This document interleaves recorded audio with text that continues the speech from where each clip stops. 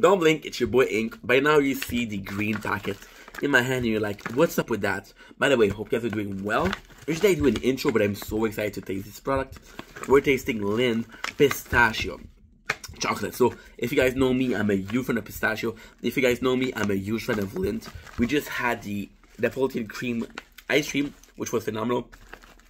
But I'm really excited because I love pistachio and I love the Lindt chocolate. So it, by theory, should be good. But by theory, I also have standard. I know what it's supposed to taste like. I know I'm going to enjoy it.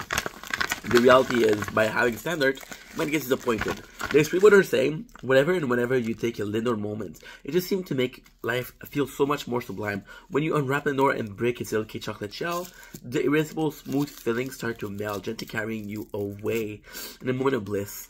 Again, I love this. You get the pistachio, you get the color, the very strong green pistachio color.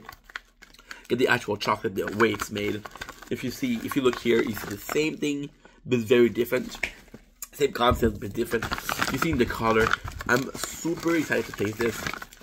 Again, pistachio, there's nothing wrong with it, but with the huge amount of standard, could be hit or miss.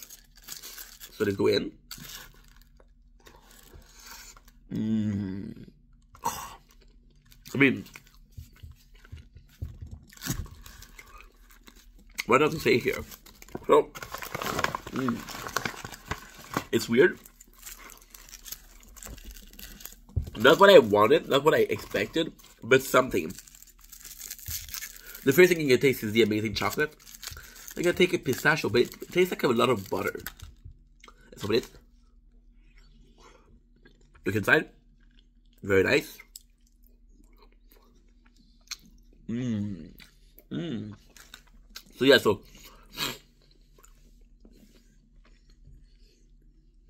weird. Actually, very weird. It does taste like we're supposed to taste. It tastes amazing, but you got two fatty uh, ingredients. So the pistachio, which is very buttery, the chocolate, which is very buttery. You do have a taste of chocolate. You do have a taste of pistachio. The two together are great, but there's a taste of butter, which is a third.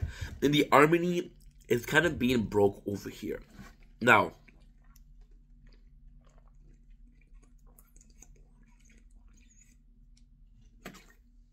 it's to be expected. So with the pistachio is a lot more subtle than chocolate. So you don't expect the, the pistachio to taste a lot, but you expect to taste them. I don't really taste them. I taste more the butter, like I was saying. Although there's nothing wrong with that. If I buy something that is pistachio flavored, you see. But again, what what what is weird to me is that none, no other chocolate, if you look at it, are doing pistachios. So there's a reason for that because pistachio is very expensive. So Lindt being more a better quality, they can charge more. Now the reality is, um, if I had something to compare it to, I'd be able to say something else. I'd be able to say, hey, this is really good. But we just had Napolitan cream and I never tasted that before, so that's not a good excuse.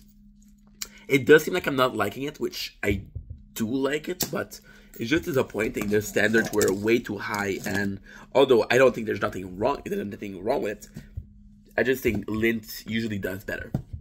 Well, is love that you matter. I'll see you guys soon. Peace.